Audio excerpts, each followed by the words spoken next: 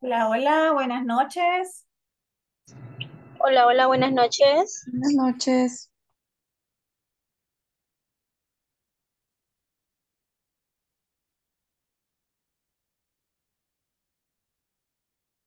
Hola, hola, ¿me escuchan? Sí, licenciada, sí la escuchamos. Gracias, Carla. Buenas noches a todos, bienvenidos. Es que me, me ha estado fallando un poco la bocina de la computadora, pero ya estamos acá. Cualquier cosa, si me escuchan cortado, me avisan para ir viendo de cambiarme de red, de internet. He tenido un poquito de inestabilidad este día con el internet, pero vamos a sacar la sección adelante. Bienvenidos a todos. Esta es nuestra quinta clase de 8, ¿verdad? Recordarles que mañana también vamos a ir de 8 a 9 y el jueves vamos de 8 y media a 9 y media. Y el lunes estaríamos finalizando el primer módulo del arte de las ventas. Dígame, Carla. Eh, comentarle que mi compañero Alan tuvo un inconveniente ahí, lo puso en el grupo. Cualquier cosa lo vamos a retroalimentar nosotros. Ah, ok, perfecto, no hay problema, Carla. Excelente, bien. Gracias. Vamos a dar inicio al tema. Habíamos quedado ayer en el Buyer Persona, habíamos, bueno, les mandé ahí el enlace para que pudieran ustedes eh, practicar llenando la ficha. Si alguien la llenó y me levantan la manito a ver cómo les fue. Quienes hayan podido ingresar al Buyer Persona y hacer los siete pasos que, que les tira la, las pantallas que van haciendo. No sé si, si lograron hacer la práctica. Si alguien logró hacer la práctica para que ahí me levante la mano y nos dé su aporte, cómo se sintió haciendo esa práctica, qué tal le fue, cómo sintieron hacer el ejercicio, si habían hecho algo similar o nadie la hizo.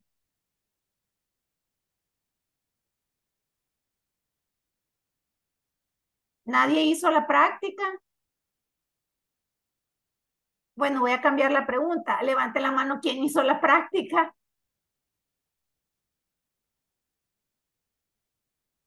Bien, bueno, ni modo entonces. Lástima, lástima, porque era parte del aprendizaje. Bien, entonces nos vamos a contenido, ¿verdad? Nos vamos a contenido para que podamos ir avanzando. Estábamos en el Buyer Persona el día de ayer, ya les voy a compartir pantalla. Solo déjenme ver si me abre. Aquí está. Vamos a dar finalización al tema para poder entrar a la sección ya número dos. Permítame que no sé por qué no me deja compartir. Espérenme, espérenme, espérenme que algo me falló aquí. Bien, acá cuando puedan y crean que es eh, importante hacer la práctica, háganla porque eh, les va a ayudar, les va a ayudar con el aprendizaje para entender un poco más el tema teórico, ¿verdad? Aquí este, hablar teoría una hora es fácil, pero es importante que ustedes practiquen también en esa parte para que vayan entendiendo por qué el contenido se incluye en este curso del arte de las ventas. Eh, ¿Quién se beneficia? Nos quedamos ayer de la definición o de conocer bien a los buyer persona, pues los que se benefician son ustedes como equipos de las áreas de venta, como equipos de atención al cliente, como equipos de producto, equipos de ventas y equipos de marketing. Ustedes son los únicos que se benefician dentro de sus compañías al conocer cómo funciona el buyer persona, qué beneficios deja y cómo se elabora también ese cliente ideal para nuestros negocios a los cuales representamos ahora. Utilizar el perfil del buyer persona para tomar decisiones estratégicas de marketing, pues nos ayuda a mejorar la segmentación de los clientes, la experiencia de marcas más personalizada, identificar a los clientes potenciales de mayor calidad y la alineación de cross marketing también mejora. En esta parte, pues podríamos ir agregando, por ejemplo, eh, digamos que en términos de marketing, la información del buyer persona se utiliza justamente para crear mensajes que sean un poco más relevantes y adaptar las estrategias de contenido en función del viaje del consumidor, es decir, del recorrido que este cliente haga, tanto en su proceso de compra presencial o en línea, ¿verdad? Esto también permite crear experiencias de marca más personalizadas. Los perfiles del buyer persona también ayudan a los profesionales de ventas y del marketing a entender mejor a sus clientes potenciales y actuales y así descubrir qué es lo que más les motiva a elegir una opción sobre otra. Así nos ayuda a entender por qué el cliente nos prefiere a nosotros o peor aún, por qué el cliente prefiere la competencia. Todos los aspectos del marketing pueden beneficiarse de las características del buyer persona cuando hacemos email, cuando hacemos marketing digital, cuando hacemos email marketing, cuando hacemos contenido, cuando hacemos contenido en redes sociales, etcétera. Pero ¿cómo utilizamos exactamente esta información los profesionales del área de marketing y ventas? Pues miren, cuando hablamos de mejor segmentación de los clientes, pues el marketing es para todos no es bueno solo para las empresas. Los clientes ideales pueden ofrecer detalles esenciales, de hecho, que pueden potenciar en una estrategia de marketing y atraer compradores potenciales más cualificados. La experiencia de marca personalizada, pues con un conocimiento más profundo de los puntos débiles de los clientes potenciales, los especialistas en marketing pueden crear mensajes más específicos, ofrecer contenidos de forma más eficiente y personalizar ofertas. Cuando hablamos de identificar a los clientes potenciales de mayor calidad, pues la creación de contenido, digamos que viene siendo solo como la punta, la punta del, del iceberg del marketing. La distribución con el alcance, digamos que son igual de importantes. Entonces, el perfil del de persona debería mencionar también dónde pasan el rato, dónde, cuáles son sus hobbies, para saber a qué canales y plataformas dirigen o, dirigimos nosotros como marca contenido específico. Y la alineación del cross marketing, pues para mantener esta alineación entre los distintos equipos de marketing, los profesionales siempre pueden revisar los perfiles del buyer persona para asegurarse que están, digamos, satisfaciendo las necesidades de los consumidores. Por eso es que es importante tener como al ideal para que nosotros a la hora de prospectar busquemos lo más cerca posible a nuestro cliente, lo más que se acerque a ese cliente que ya creamos. De eso se trata el buyer persona.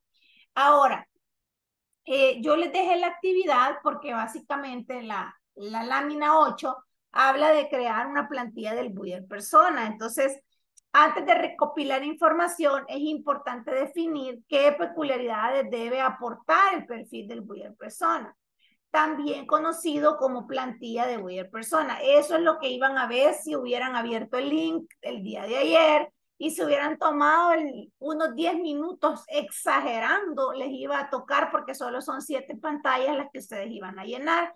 Y si, lástima que no lo abrieron, porque si lo hubieran abierto se hubieran dado cuenta de lo básico que cada pantalla era. Entonces, eh, este empieza desde datos demográficos a valores.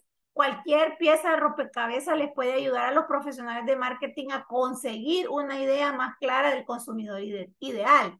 Eh, Yancy está levantando la mano, tiene la palabra.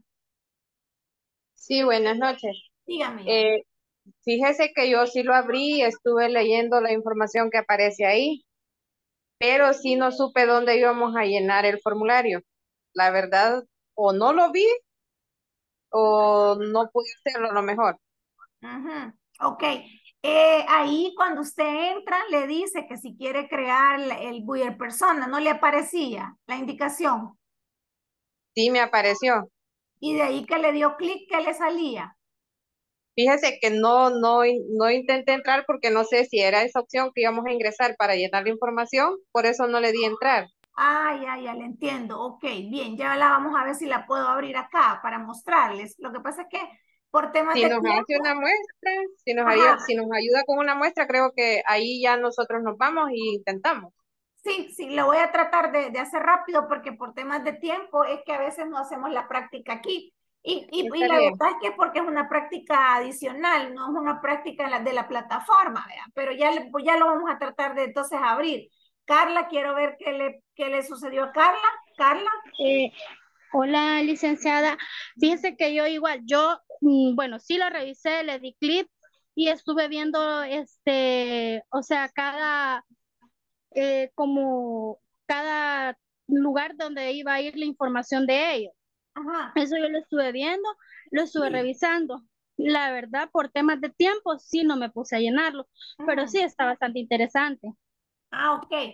Eh, sí, el, el, tema era porque para poder ver como la siguiente pantalla, creo que es obligación que llenen como la primera, ¿vea? Si no llenamos la primera pantalla, no nos permite abrir la segunda. Cuando estamos creando el Builder Persona, normalmente pide como un correo electrónico. La verdad es que este blog, el que yo les compartí, es un blog que pues como gancho ellos dejan que uno descargue como de manera gratuita la plantilla, ¿verdad? Entonces, pues, pero para que usted se suscriba al blog, pero el blog en el momento suscribirse no tiene ningún costo, sino más bien, como les digo, como el gancho, usted mete su correo y ellos después le empiezan a mandar como información súper relevante de mercadeo y de ventas, y, es una parte de, como de, del mailing de ellos para poder llamar a la acción a sus clientes, que son estos usuarios que visitamos mucho el blog, y después intentan vender más contenido, por supuesto, como todo negocio, ¿verdad? Eh, yo ya he comprado contenido de ellos, pero porque yo me dedico al tema de la docencia, ¿verdad? Y entonces todo para mí ellos son como una biblioteca virtual. Entonces sí me funciona. Pero yo con mis estudiantes, yo les explico, vean, miren, no es obligación que usted pague ninguna mensualidad ni nada. Ustedes pueden meter, poner su correo y les va a estar cayendo información que de repente va a ser relevante para sus estudios, para su aprendizaje, para su preparación o formación profesional, etcétera pero ya voy a tratar de abrirla por aquí, Carla. Muchas gracias. Eduardo, que había levantado la manito también. Gracias, Alba. Ya voy a cambiarme de red. Buenas noches, licenciada y compañero. Eduardo. Buenas noches, licenciada. ¿Me escucha? No le escucho, no le escucho. ¿Me escucha, licenciada? Le oigo bien lejos, Eduardo. Sí, es que cambié de micrófono nuevamente porque no sé por qué motivo no se escucha. Ajá. Lo ah, bueno, dígame que solo la versión de internet solo permite en la computadora, celular no me dejó, por eso no lo pude realizar. Ah, sí, eso, eso sí, es más fácil cuando lo hacemos en la compu, eso sí tiene toda la razón, porque yo esta práctica la hago eh, cuando doy la clase en centro de cómputo, que es presencial, tiene toda la razón, ahí sí que la hemos hecho siempre por escritorio, computadoras de escritorio. Por eso les digo, cuando tengan un chance, eh, es de intentar, ¿verdad? Miren, quiero ver si me puedo cambiar de red porque dicen que me escuchan eh, cortado, permítanme. Ya voy a ver si puedo presentar pantalla aquí. Lo que pasa es que yo no me voy a poder suscribir porque yo ya tengo, ya estoy suscrita con un correo. Pero ya vamos a ver, Quiero ver. No me deja conectarme.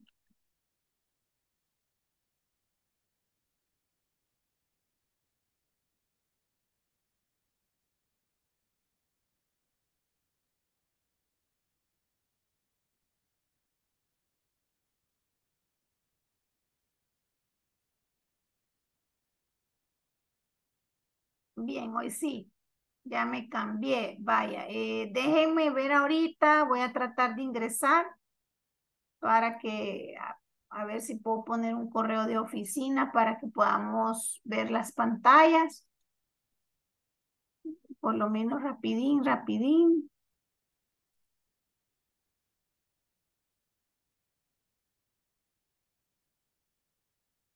Y les voy mostrando.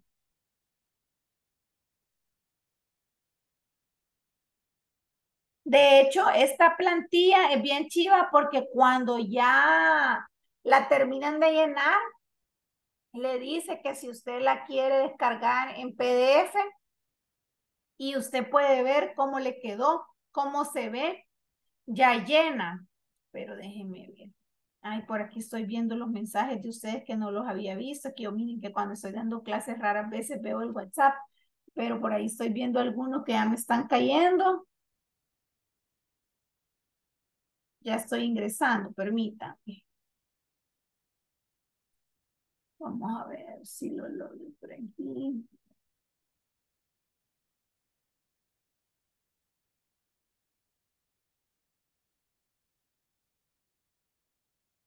Ok, gracias Mario. Sí, no, y es que también creo que me está, es que me, me pasé a la red que tengo más cerca de, de mi compu porque estoy en, en la habitación. Entonces ya me cambié de red para que me puedan escuchar bien. Ah, ya. Ya vi ahí lo que me están poniendo. Vaya, quiero ver, vamos a ver, permitan. Justo el sábado estuvimos haciendo, yo doy un curso que se llama Estrategias de Marketing Digital en otra empresa y justo el sábado con mis alumnos donde vemos este tema, estuvimos haciendo esta práctica precisamente porque es uno de los productos finales que ellos deben de entregar para aprobar como el curso, ¿verdad? Entonces era el último día, era la evaluación final y era, era uno de, las, de los ejercicios de los tantos que íbamos a hacer para la entrega.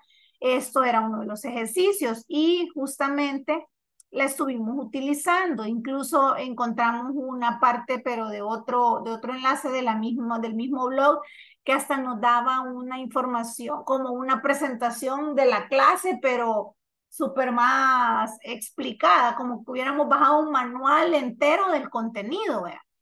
Entonces lo logramos descargar, vaya. Por ejemplo, acá yo ya estoy adentro, en esta parte, eh, cuando usted se mete aquí, están viendo, me, me, levantan la mano si logran ver la pantalla, por favor. Ok, gracias. Vaya, por ejemplo, creo que algunos quizás se metieron de este lado, donde dice que es un buyer persona. Si usted le da aquí en más información, entra, le pide algunos datos y le descarga como el contenido en un PDF y le descarga, es como una, es como una presentación del tema, pero con una explicación muy, digamos, eh, no es un libro, pero sí es una presentación que le deja mucha información valiosa del contenido, que es lo que hemos estado viendo nosotros ayer. Y acá en el crear mi Buyer Persona es donde tenían que haber ingresado. Lo primero es que le asignen un nombre al buyer persona. Eh, recordemos que lo que estamos creando acá, por eso les dice paso uno de siete. Eh, lo importante es que leamos esta información para que sepamos por qué es importante este paso. Entonces aquí dice, ¿por qué es importante este paso? Primero elige un nombre para humanizar a tu buyer persona, porque recordemos que según el concepto que vimos ayer, dijimos que era un, es como un arquetipo, dijimos una persona ficticia. Pero en el caso de ustedes que ya se dedican a esta área, yo les recomendaba que se recordaran de aquel cliente que no les costó, de aquel cliente que terminamos diciendo, ay, ojalá que todos fueran así, y que basándonos en esa experiencia pudiéramos como crear el buyer pensando en este cliente y así a la hora de prospectar buscar lo más certero o más cerca posible del cliente que creamos. Entonces en esta parte les explica que primero se elige un nombre para humanizar al buyer persona y si le ponemos un nombre, le ponemos un avatar. Podemos visualizar el buyer persona como una persona real y un consejo profesional es que hay que asignarle un nombre relacionado como con la industria, como para acordarnos, ¿verdad? Cómo lo queremos. Entonces, en este caso, vaya, digamos, eh, yo voy a pensar en un estudiante que es como mi cliente, el, estudiante ideal que yo quisiera. Entonces le voy a poner un nombre X, le puedo poner, por decirles algo, Lucía, estudiante ahorita, porque es un ejercicio, ¿verdad? Lucía estudiante, obviamente Lucía tiene un apellido, ¿verdad? En este caso le vamos a poner así, para acordarme para qué rubro lo estoy creando. En este caso lo estoy creando para lo que yo vendo, que es yo es, trabajo en una universidad, vendo capacitaciones, doy consultoría, doy cursos, diplomados, etcétera, de manera independiente y también para eh, trabajo para empresas que están aliadas con INSAFOR y para la universidad que pues por supuesto está aliada con el MINED. Entonces le voy a poner una avatar a Lucía. Le vamos a poner a cualquier niñita aquí. A ella le vamos a ponerle el pelo rosa. Vaya. Entonces, después de este paso, yo ya, eso era el primero, eso era todo. Paso a la siguiente pantalla. Y entonces yo voy a elegir cuántos años tiene mi cliente ideal. Mi perfil anda entre los 18 y mm, me voy a basar en la U porque de Isafor llego hasta como por aquí pero lo vamos a dejar en la universidad y ando como por los 24, es mi, es mi cliente más, más fuerte, digamos. ¿Cuál es el, el nivel de educación más alto que alcanzan? Pues ahorita están en, en la universidad, pero no finalizada. Ese es mi cliente ahorita y ese es el paso 2, fíjense. Ese era todo. Después de este paso, me voy, estos son los datos demográficos y aquí le dice, al recopilar información demográfica sobre el buyer persona, podrás tener una idea más clara y personal de quién es el cliente. Más específicamente, ciertos aspectos como la edad, el nivel de educación, te pueden ayudar a posicionar, dice, mejor. Ay, espérenme, me salí.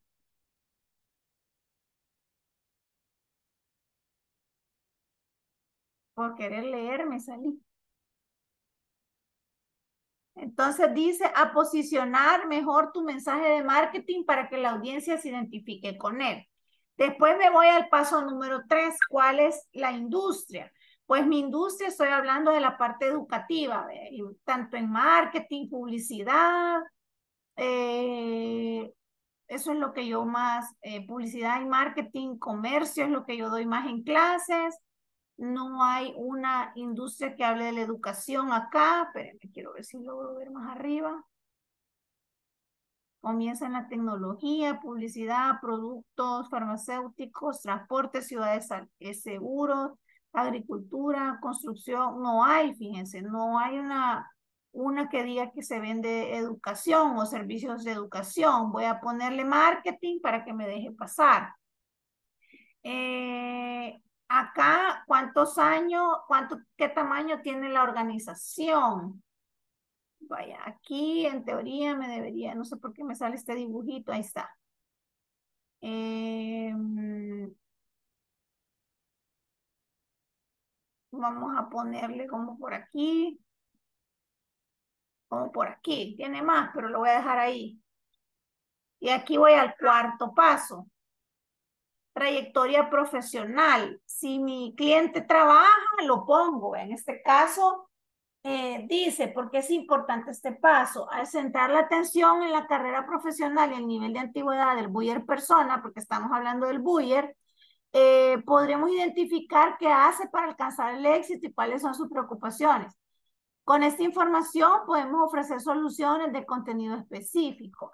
En mi caso, mi cliente a la mayoría no trabaja, un 50% trabajan y otros no, vean. Entonces acá, en su trayectoria profesional, yo necesito personas eh, que por lo menos estén en el área comercial, por lo menos, porque estos se interesan en estudiar lo que yo vendo, vean. Eh, ¿Cómo se miden sus resultados? Por ejemplo, habla de la generación de leads o ingresos o productividad.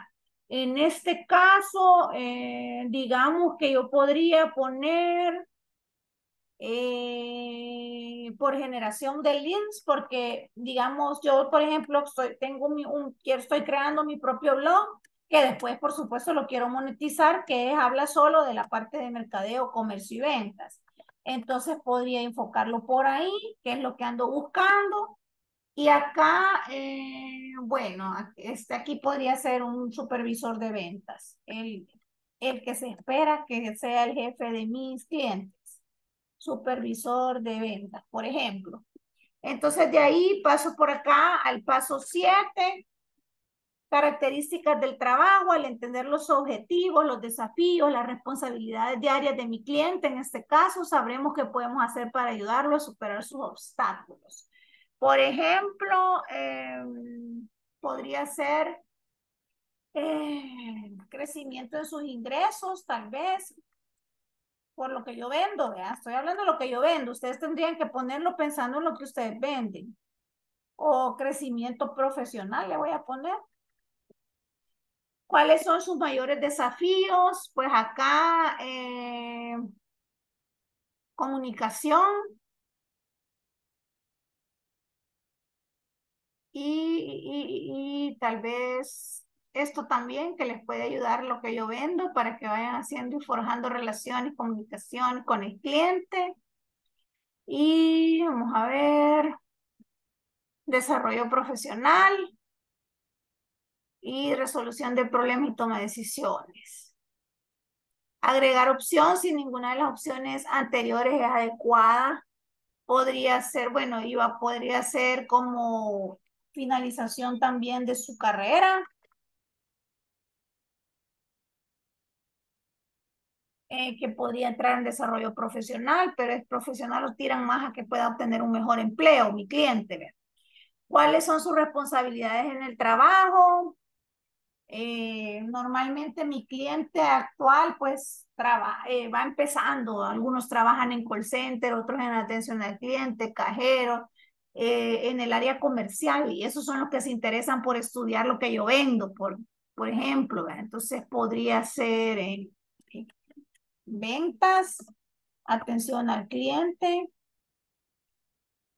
eh, tengo algunos que están en, en Community Manager, generación de contenido, algunos que ya manejan redes sociales de algunas empresas, etcétera. Y ahí voy al siguiente paso, que es el sales, con qué herramientas trabaja. Eh, bueno, mi cliente, quiero ver qué herramientas usa para hacer su trabajo. Sistemas contables, no, tal vez sistema de gestión de contenidos, eh, correo electrónico. A ver. Por acá podría ser los paneles de inteligencia de negocio. Tal vez programas de procesamiento de texto. Y aquí yo puedo agregar uno, miren, uno más.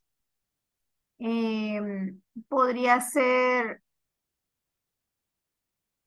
em, el tema del manejo de las redes sociales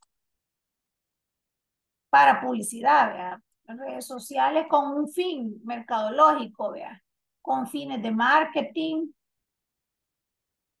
Y de ahí, ¿qué canales prefiere para comunicarse con los proveedores y otras empresas? Pues en este caso, las redes sociales, el correo electrónico.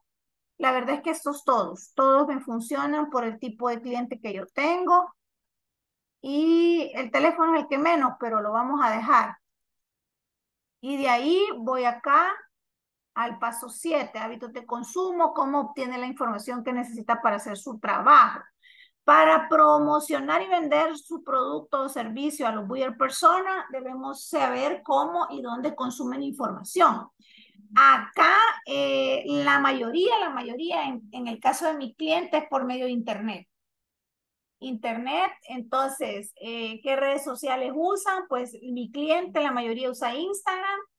Y le voy a dejar Facebook porque tengo algunos que andan entre los 25 y 29 años que usan Facebook, pero la mayoría es Instagram, la verdad. Porque son jóvenes, la mayoría de mi cliente generación Z. Entonces de aquí termino de ser mi cliente y acá está, miren, así me tira la ficha. Y ahora eh, yo acá, para que la poderla ver completa, le puedo dar descargar.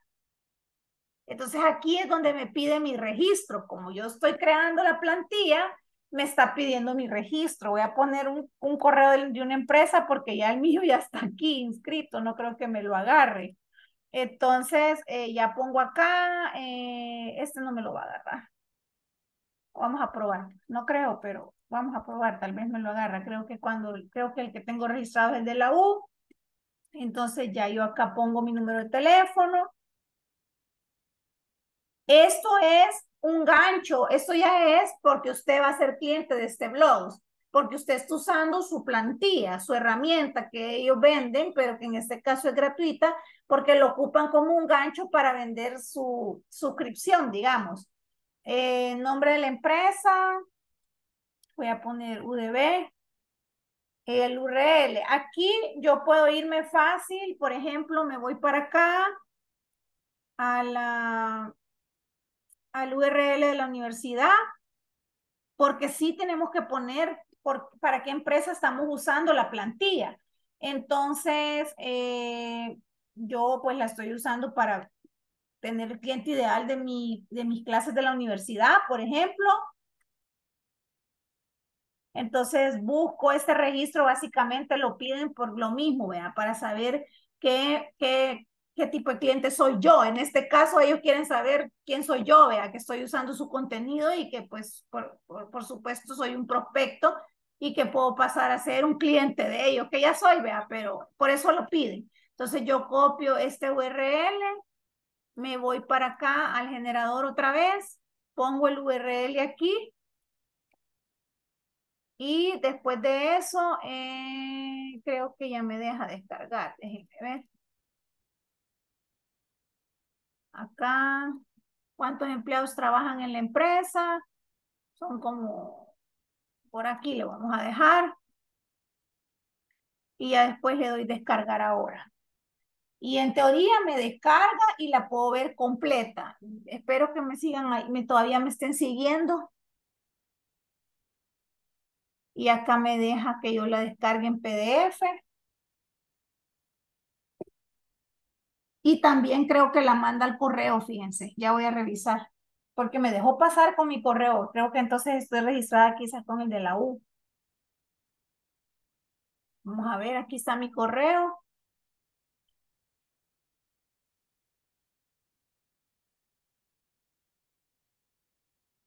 Creo que nos tardamos como nueve minutos o diez, no sé, o cinco.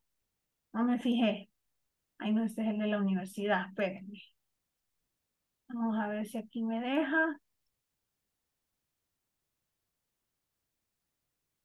Todavía no me ha caído.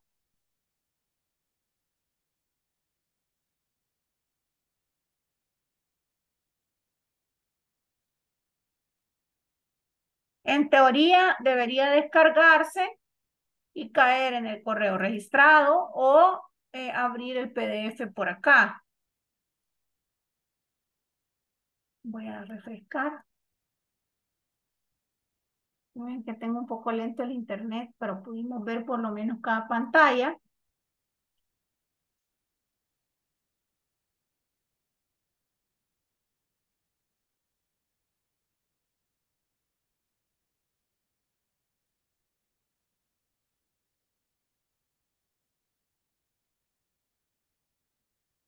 Me sale generando, vamos a ver, lo voy a buscar en las descargas, tal vez por aquí. Tampoco, no me ha caído. Así que se las quería mostrar ya abierta. Este es el correo que creé, que metí, mejor dicho. Y acá, no sé por qué no me deja abrirla.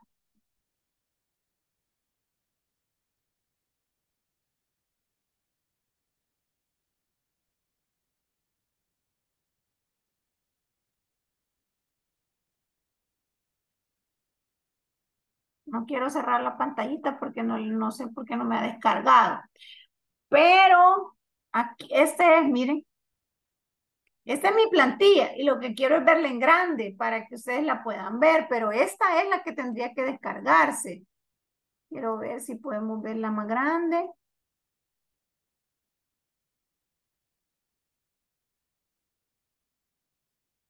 No se alcanza a leer. Vaya, miren, por ahí más o menos está, miren. Eh, ay, espérenme que no me deja. No, no es esta la mía. Tengo que descargarla para que la puedan ver. Ya la voy a descargar, ya voy a ver qué es lo que pasa que no me descarga, porque sí me interesa que vean cómo se mira ya terminada. Entonces, eh, pero lo importante es que pudieron ver ustedes, aquí está, aquí está, vaya, aquí la pueden ver en grande, miren. Hoy sí, ¿verdad? La podemos observar, aquí está, Lucía estudiante, lo que busco de este, de este cliente, acá está las redes sociales, la industria, el tamaño de organización, está todo en orden de la plantilla. Entonces usted ya con esto puede, y mire, hasta le deja que usted agregue otra sección si la siente necesaria. ya con esto usted puede saber dónde buscar su cliente y buscarlo más cerca que de esta plantilla de que usted mismo creó, se acerque a ese cliente ideal para su negocio. En este caso, eh, aquí quiero ver si le doy descargar aquí. Me vuelve a mandar para acá, no sé por qué. En teoría me tendría que caer en mi correo. Esperemos que otro ratito me caiga. Si me cae, les comparto el PDF en el, en el WhatsApp. Pero miren, así se va a ver. Esta es la realidad. Así se va a ver. Entonces, eh, yo les digo de verdad, los invito a que lo hagan. No pierden nada y de alguna u otra forma más adelante les va a servir para cuando ya ustedes anden prospectando. ¿Qué les pareció la plantilla y al verla completa? A ver, opiniones. No la habían, nadie la, nadie la había logrado ver así. Dígame, Carla. Hola, licenciada. No, no la había logrado ver así y sí se ve bastante interesante porque creo que así se puede guardar eh, información del cliente. Y lo bueno, porque en mi caso me toca estar pendiente de los clientes. Ajá, de los clientes de que también me toca estar pendiente a mí. Ajá, y lo chivo es que también puede ir generando su base de datos ya cuando va teniendo el cliente real, porque este es un ficticio, vea. Pero cuando ya vamos teniendo el cliente real, porque vamos metiendo, la, ventaja que tienen ustedes es que como ya tienen a sus clientes, yo podía haber metido un alumno, ¿vea? la verdad es que nunca me había puesto a hacer lo de los alumnos, del, lo hice pensando en el alumno de la universidad. Eh, ajá. Lo, ajá, lo había hecho de ejercicio con la gente de INSAFOR, que es más amplia, porque en INSAFOR tengo alumnos hasta de más de, a veces he tenido alumnos hasta de más de 60 años. Entonces, eh, pero con los de la U, con el cliente de la U nunca lo había hecho, pero ya la voy a repetir, fíjense, la voy a dejar más específica, porque ya tengo el ideal. Pero eh, ah, eh cuando usted nos dijo a nosotros eso, Ajá. Eh, yo eso fue lo que me imaginé, ¿verdad? Porque como nosotros, nosotros en mi caso, en el caso de mí y de mis compañeros, nos que estar pendiente de eso prácticamente, de ver cuando el cliente se le va terminando las libras, estar pendiente cuánto lleva y todo eso. Entonces sí, es bastante interesante. Sí, es bien bonita la plantilla, la verdad. Mire, la verdad es que el blog como tal de, de HubSpot es una maravilla de, de información que uno puede encontrar para nuestro aprendizaje en esta área, en esta área comercial que nos ayuda como a entender un montón de cosas. Yo paso viendo muchos videos del comportamiento del cliente precisamente porque tengo audiencias bien variadas. Yo el primer día de clases normalmente en este tipo de cursos virtuales como este, por el tiempo es que no hago, por ejemplo, las pruebas diagnósticas que yo hago cada primer día de clase, pero la hago cuando tengo más de cuatro horas con el mismo grupo el mismo día. Entonces, cuando es una hora, como es el caso, no se puede hacer esa prueba, pero yo hago la prueba diagnóstica precisamente para saber con qué público voy a trabajar el, todo el módulo, digamos, o todo el curso.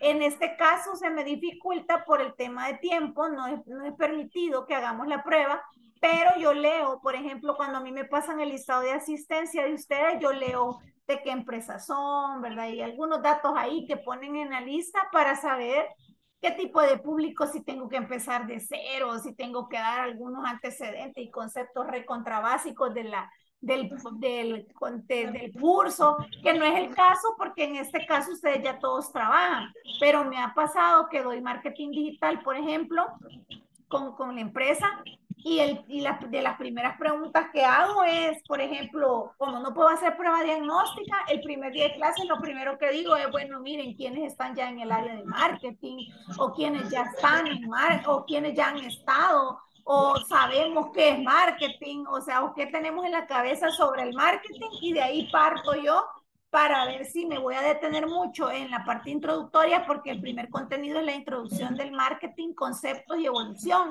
para poder empezar a hablar de marketing digital. Entonces, el primer día de clase hago tres preguntas de sondeo para ver si voy a empezar de cero. Y me ha tocado clientes, porque ustedes son mis clientes, me ha tocado clientes, por ejemplo, Carla, que de repente eh, si saben porque están estudiando o se acaban de egresar o de graduar incluso de la licenciatura en mercadeo, pero quieren sacar un, corto de marketing digital porque a lo mejor en la U no se lo dieron tan profundo, solo era una materia y lo quieren ver más, más de lleno y van sacando la secuencia de los módulos de todos los que damos aquí de marketing entonces, pero traen una base sólida. Entonces, me ha tocado que este tipo de clientes dicen la empresa, mire, la primera y la segunda clase muy básica, muy aquí, muy allá, pero como hay de todo dentro del grupo, no puedo saltarme un contenido que además de que ya está en el cronograma, eh, es, es, fundamental para, la, para casi la mayoría de todo el curso que no conoce las bases. Entonces ya se le toca a esta tipología de clientes que normalmente se ingresa en el saberlo todo, ¿vean? se le explica, mire, señor cliente, que lo que pasa es que la mayoría de los clientes que están acompañándolo a usted en el curso, pues no tienen los conocimientos básicos que usted tiene.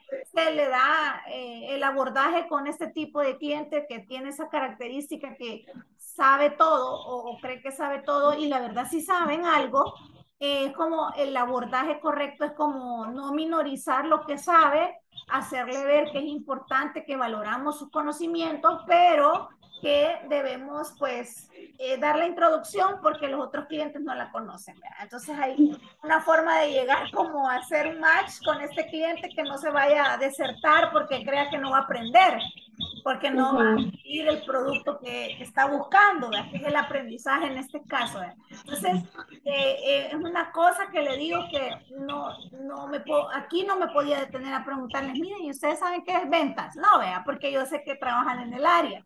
Entonces ya es como lo Eso es lo, como va a ser un, un feedback y seguir adelante. Entonces yo sí los invito a que ustedes cuando puedan ocupen la plantilla, lean esta información, el blog es muy interesante, tema que usted ponga para su aprendizaje en el área comercial, lo va a obtener. Les aseguro que a mí me mandan muchas cosas gratuitas, pero es que yo ahí paso metida, vea.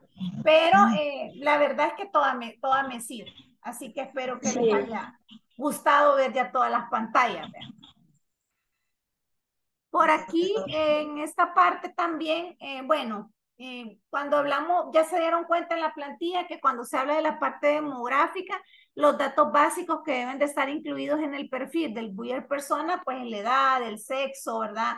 el nivel de ingresos, la ubicación, eh, algunas veces estado familiar, nivel de educación, en el estado profesional, pues cargo y nivel, gestores, digamos, qué industria es la que la que busca usted vender sus servicios, en la parte psicográfica, las metas profesionales eh, o personales del cliente, la creación, las creencias y los valores del cliente, en los puntos débiles y retos, pues los principales retos y sus obstáculos para superar estos retos, ¿verdad? Y los medios como, digamos, racionales que o irracionales que podría estar cruzando nuestro cliente, la parte de quiénes son sus influencias y sus fuentes de información, si buscan ellos producto en blogs, en redes sociales, en webs, en sus medios favoritos digitales, ya sea o en los tradicionales que son en papel o influencers, líderes de opinión, en quién realmente su cliente confía, a quién admira, a quién sigue, eventos favoritos que asiste, conferencias, ya sean en línea o no,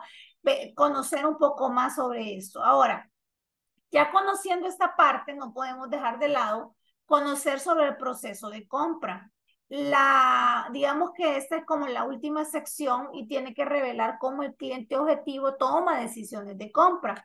Esta información eh, nos va a ayudar a ampliar el viaje del consumidor y las ventas y también nos va a ayudar a, a, que, lo, a que le demos un acompañamiento oportuno y que como vendedores, en lo que el cliente está viviendo el proceso de compra, nosotros hacemos el proceso de venta, pero a la par. Pasa mucho y a mí me ha sucedido que muchos de mis clientes, eh, o más bien, sí, mis clientes, porque muchos de mis clientes que se ponen a estudiar esto, creen que el proceso de, de compra lo vive el vendedor y no es así. El proceso de compra lo vivimos nosotros como cliente y ya van a entender por qué. Les voy a compartir pantalla. Yo estoy segura que algunos ya lo manejan, pero les quiero compartir pantalla para que vean las etapas. No sé si logran ver. No sé por qué me está costando acá. Aquí. Las cinco etapas del proceso de compra que están acá en pantalla. Estas son las fases por las que pasa una persona desde que se da cuenta que tiene una necesidad hasta que adquiere un producto o servicio para resolverla. Entonces, el que, el que normalmente tiene la necesidad es el cliente. Entonces, nosotros nos vamos a colocar ahorita en, en la parte del vendedor. Nosotros como vendedores, cuando el cliente está pasando por este proceso, Normalmente nosotros estamos por en el proceso de la venta. Sabemos que el proceso de la venta tiene seis pasos. La prospección es la primera. Si usted no prospecta, no tiene clientes. Y si no hay clientes, por ende, no podemos pasar al segundo paso. ¿Cuál es el segundo paso? Después que usted prospectó y que consiguió sus clientes, que ya tiene el listado de clientes, viene el segundo paso del proceso de la venta, no el que está en pantalla, estoy hablando del proceso de la venta ahorita. El proceso de la venta eh, tiene seis pasos. Entonces, primero les dije prospectar. Después vamos con el segundo paso. Después de que yo ya tengo mis prospectos, entonces yo eh, tengo que buscar la preaproximación con el cliente y lograr el acercamiento. Cuando yo ya tengo este acercamiento con el cliente, hay una tercera, hay un tercer paso que es la demostración del producto. Yo ya tengo el acercamiento con el cliente y obvio no me acerco a saludarlo nada más, ¿verdad? Sino que me acerco para poder explicarle el producto, eh, demostrar mi producto con sus ventajas, sus atributos, su forma de pago, sus garantías, etcétera, etcétera. Todo lo que usted quiera meter. Este paso normalmente se conoce como demostración y presentación descriptiva de producto incluyendo dentro del producto, que es una de las P, de las cuatro P del marketing mix, los bienes y los servicios. O sea, lo que se toca y lo que no se toca, ambos son productos, ambos entran en esta parte. Después de que hacemos eso, esta demostración, viene el cuarto paso. El cuarto paso del proceso de la venta, todos los vendedores lo pasamos. Es raro que no se pase, pero también como hay clientes que son ideales, este paso a veces sí lo logramos saltar, que es el manejo de objeciones. Que todos cuando el cliente no pone una objeción y solo dice dónde firmo y dónde pago, usted, ay, ese es el típico que decimos, ay, que todos fueran así, vea, que todos los clientes fueran así. Pero no, las objeciones existen y ese es el cuarto paso del proceso de la venta en teoría, nosotros como expertos y capacitándonos día a día, pues estamos preparados para manejar estas objeciones, pero no somos exentos de vivirlas solo porque estamos preparados. Siempre las vamos a vivir. Lo que tenemos y yo recomiendo en esta parte es que como vendedores eh, enlistemos, enlistemos cuáles son las objeciones más comunes que me dan todos los días y al tener yo esa lista de objeciones, a la par de cada una, poner de tres a cuatro respuestas para cada una, para que cuando me toque volverlas a vivir no me agarren en frío y yo rápidamente tenga argumentos para rebatirlas. Normalmente las objeciones aparecen cuando el cliente no le quedó claro algo y puede ser que porque también usted tal vez en el acercamiento no escuchó algo. Por eso es que la escucha asertiva y activa es una de las habilidades que como vendedores debemos de tener desarrollada porque a veces pasa que no escuchamos bien al cliente, no entendimos su necesidad, explico lo que tengo que explicar, pero a lo mejor no expliqué lo que él quería oír y probablemente por ahí me salga una objeción. Entonces no debemos de ver las objeciones como un fracaso o con miedo a que no vamos a cerrar un negocio, sino más bien verlo como una oportunidad de refuerzo, es decir, oportunidad de reforzar los argumentos que yo di en mi presentación en mi presentación descriptiva de producto. Entonces, después de ese cuarto paso, viene el quinto, que es buscar el cierre de la venta. El cierre de la venta no necesariamente tiene que aparecer hasta ahí. Cuando nos volvemos expertos, tratamos de ir cerrando casi que desde el saludo, pero a veces pues no se logra, como volvemos y repetimos, no todos los clientes son ideales y a veces sí tenemos que hacer todo el proceso. En su mayoría, en su 75% hacemos todo el proceso. Llegamos al manejo, eh, llegamos al, al, a tratar de cerrar y vamos a utilizar los diferentes tipos de cierre que conozcamos o los que mejor nos funcionan.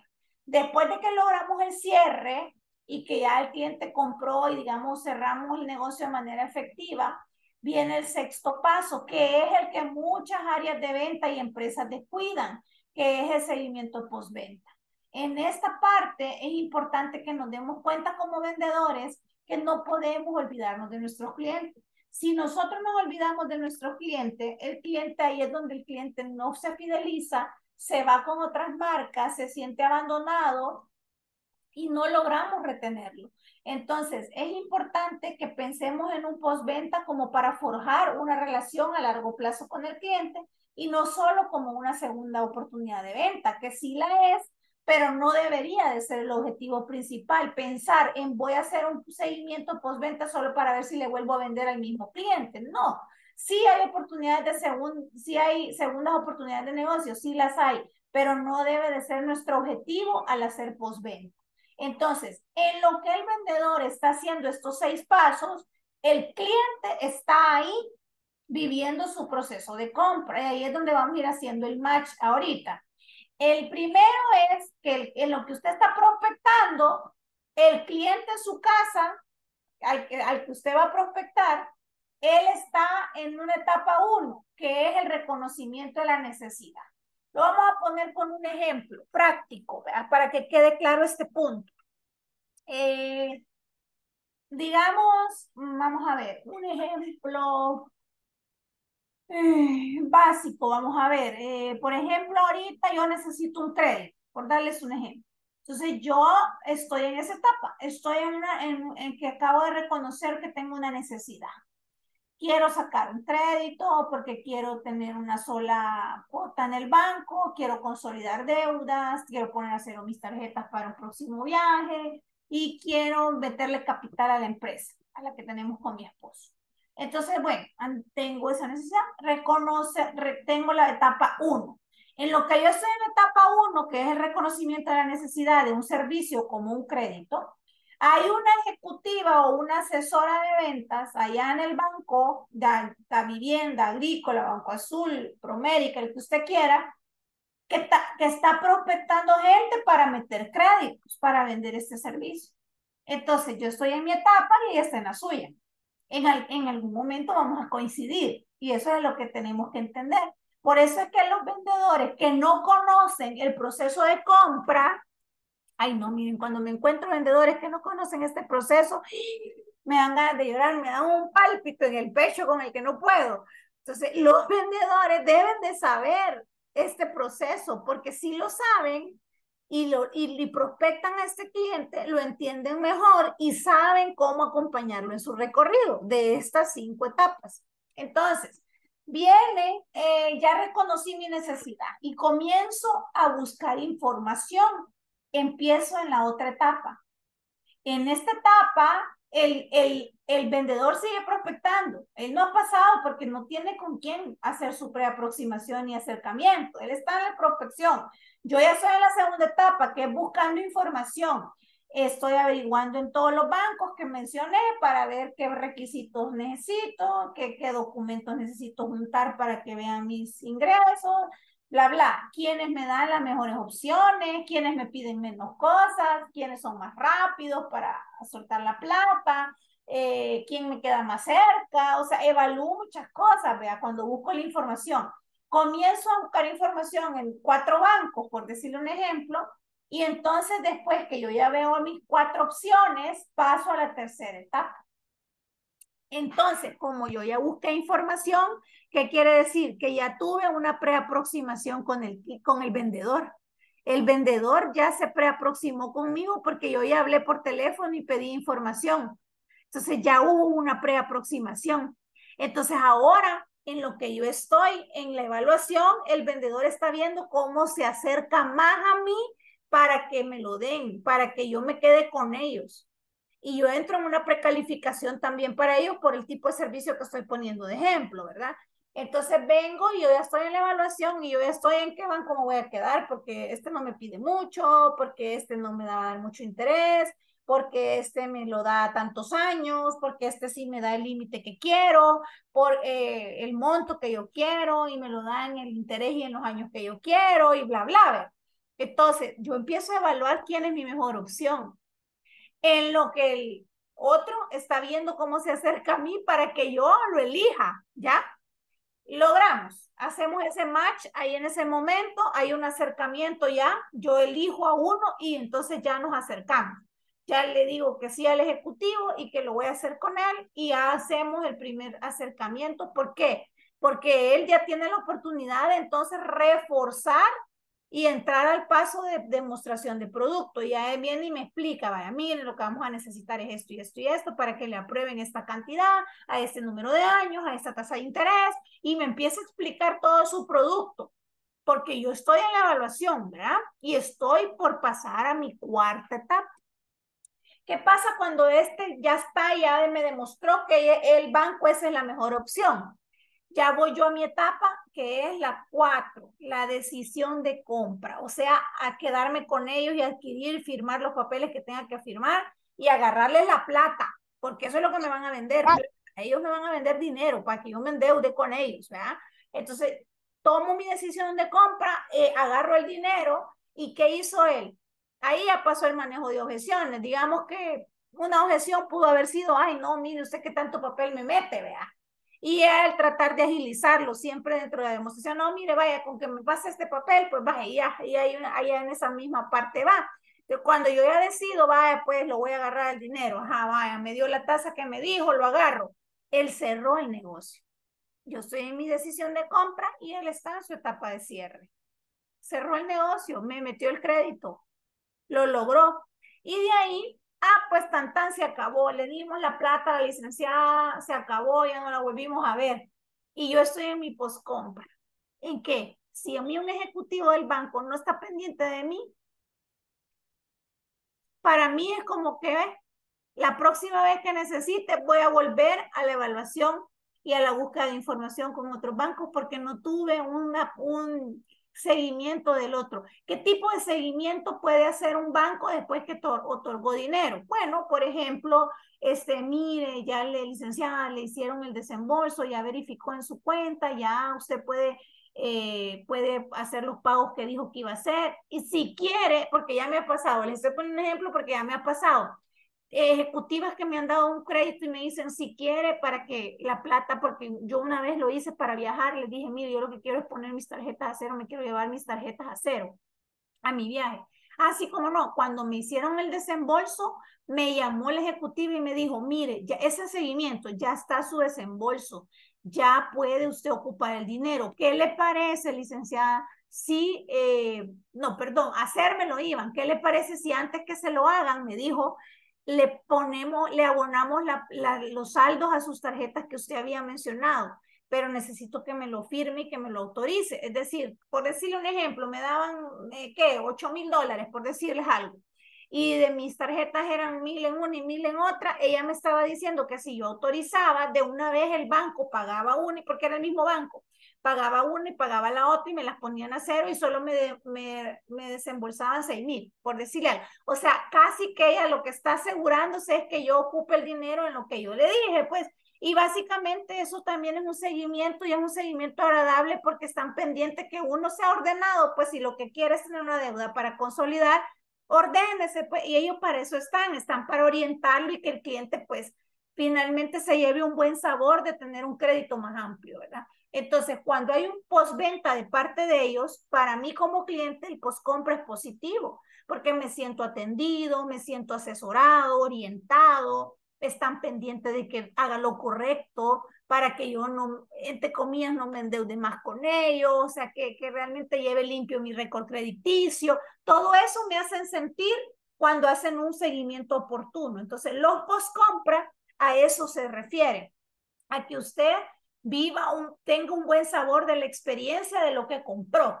Los postcompra pueden ser también negativos y perjudiciales. Si un vendedor no hace un buen seguimiento postventa, puede generar un postcompra negativo en un cliente y un postcompra negativo es súper perjudicial porque los clientes entonces van a andar hablando mal de la marca diciendo que sí, solo me vendieron y la salud ni lo volví a ver, o sí, no sé qué, y así hablamos mal de la marca, o sea, porque no nos sentimos atendidos, fuimos uno más, así nos sentimos. Entonces, es importante que los vendedores conozcamos este proceso en el que pasa el cliente, en el que vive, y este recorrido lo, lo vivimos siempre, no es solo un, un producto específico, siempre lo vivimos. Yo estoy segura que con el ejemplo, más de alguno iba haciendo el recorrido con algún producto que ha comprado hace poco. Y siempre, mire, hasta para escoger el colegio de, de, mi hija, yo lo viví totalmente. No les puedo explicar a cuánto le llegué a que se fuera a hacer el examen de admisión cuando iba a entrar al colegio grande. En todo lo que nosotros compramos, cuando no, no estoy hablando de comprarse una hamburguesa. Bueno, a veces sí, incluso cuando quieren pedir comida, ya reconocimos que tenemos hambre, pero ya empezamos a buscar, pido pizza, pido McDonald's, pido comida china, pido acá, ya empezamos a hacer esa búsqueda de información para evaluar opciones, vea. Ya casi que ni nos vamos porque qué se me antoja realmente, sino qué se me ajusta a mi presupuesto también, qué viene más rápido, qué me va a cubrir más rápido mi necesidad de comer, etcétera. Entonces, en diferentes eh, compras que hagamos, productos o servicios, vivimos estos procesos. Lo vivimos en su mayoría y más cuando las inversiones van a ser un poquito más amplias. ¿verdad? Probablemente usted diga, me quiero ir a comprar un pantalón de 10 dólares y tal vez no es que va a vivir el proceso tan largo, pero no quiere decir que no lo va a vivir. Sí, lo único que lo va quizás a, a, desempeñar en una hora todo, las cinco, las cinco etapas, pero lo vive. Pero si usted ahora dice a comprar un carro, le dura más, le dura más el proceso. Entonces, eso es importante que como vendedores lo, lo, lo identifiquemos bien. ¿verdad? Y acá les traía, les fui haciendo el match al mismo tiempo, pero aquí les traía también el proceso de la venta. Acá le ponen eh, siete pasos, pero realmente yo lo, yo lo manejo en seis. Este del análisis de las necesidades lo pongo con el primer contacto y de ahí, pues aquí están los demás. El 2 y el 3 yo lo uno en la preaproximación y aproximación del cliente y aquí viene el 4, el 5, eh, bueno, en este caso el este es uno solo, para mí este es el 3, el 4, el 5 y el 6, ¿verdad? Entonces es importante que sí tengamos como ese conocimiento específico, porque yo sé que muchos en la práctica ya lo hacen, pero a veces eh, lo, hacemos tan a menudo que nos olvidamos a veces de cómo pasa el cliente su proceso. Me levanta la mano si esto ha quedado claro, por favor.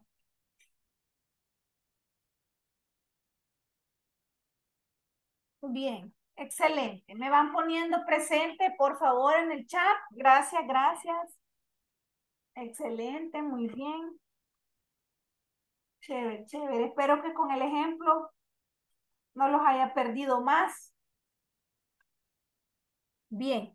Esta presentación se las mandé ayer, ¿verdad? Y creo que les mandé la número cuatro, en donde íbamos a ver el tema de la propuesta de valor. Mañana lo vamos a tocar, no se preocupen, vamos a ver la propuesta de valor, vamos a ver qué, qué es una propuesta de valor y cuáles son sus características, por qué la propuesta de valor debe ser centrada en el cliente, vamos a ver los elementos de valor para el consumidor, vamos a ver los pilares también de la propuesta de valor y cómo hacer una propuesta impecable. Esas son ocho láminas que las vamos a ver en los primeros, yo digo, 25 minutos y ya después vamos a ver si logramos ver otro tema también mañana. Como todavía tenemos miércoles y jueves, tenemos dos horas para avanzar y que podamos abordar todos los contenidos. De verdad que si, si no tienen chance hoy y mañana o el jueves de hacer lo de la, lo de la plantilla, háganlo el fin de semana, que van a estar ahí descansando algunos, ¿verdad? Nos vamos a quedar hasta aquí. Espero no haberlos aburrido. Pasen feliz noche, descansen y mañana siempre nos vemos a la misma hora, de 8 a 9. Feliz noche. Feliz noche a todos. Feliz noche. Feliz noche a todos. Gracias. Carla, feliz noche. Gracias feliz por participar. Noche. Yancy también, gracias ahí por el aporte. Feliz noche, Eduardo también, muchas gracias.